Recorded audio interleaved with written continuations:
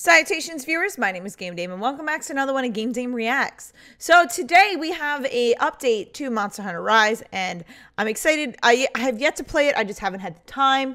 Uh, just because there's been so many games, especially like Resident Evil 8's coming out soon and Subnautica Below Zero, which I actually cannot wait for out of all of them. And uh, I just haven't gotten around to it. So without further ado, let's see what update they have provided for us. So let's, so let's watch the official update trailer for Monster Hunter Rise version 2.0.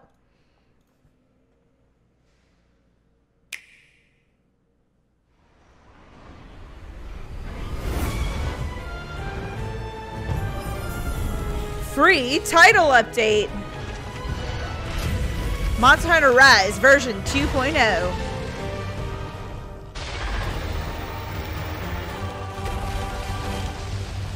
Okay. Apex Diablos. Okay, another monster.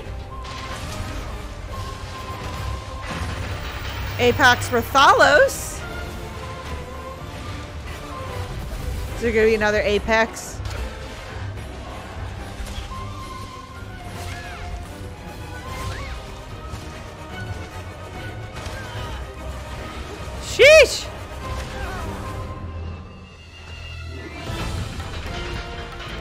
Teostra. I thought that said Toastra, and I was like, damn, what a what a formidable name. Kushala Daora? That's a cool name. I like that one. Oh yeah, Chameleos. That's right. I remember that being in one of the videos.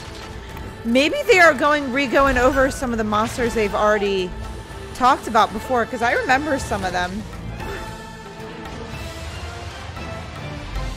Yeah, the wyvern riding.